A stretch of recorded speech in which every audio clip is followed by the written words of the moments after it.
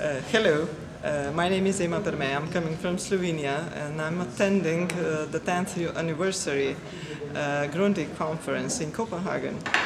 And I drink coffee z mlekom. Uh, kava z mlekom je pravzaprav dobra reč. V Sloveniji jo obožujemo.